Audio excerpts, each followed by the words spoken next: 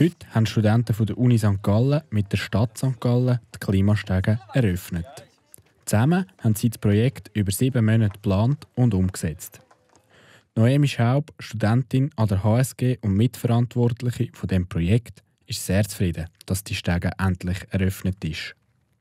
Es ist ein super schönes Gefühl. Also auch durch das ganze Feedback, das wir bekommen haben, auch die Leute, die durchgelaufen sind, die wir montiert haben. Es ist wirklich sehr, sehr viel positives Feedback gekommen. Und ja, viele haben Freude, dass es jetzt dass etwas geht und dass es mal sichtbar ist, auch die Nachhaltigkeit. Auf der Stege wird nämlich gezeigt, wie sich die Temperatur in der Schweiz in den letzten Jahren verändert hat. Die Idee zu diesem Projekt ist schon länger im Raum, erklärte Massimo Wenk, Student an der HSG. Ursprünglich ist die Idee von unserem Professor, Professor Dr. Rolf Wüsterhagen, gekommen. Ähm, er hat die Idee vor zwei Jahren gehabt und im Rahmen von unserem Implementationsprojekt, wo jährlich stattfindet in dem Masterzertifikat, haben wir dann das ausgesucht und weil wir denken, das ist eine gute Sache, haben wir das noch weiterverfolgen und nochmal aufgreifen.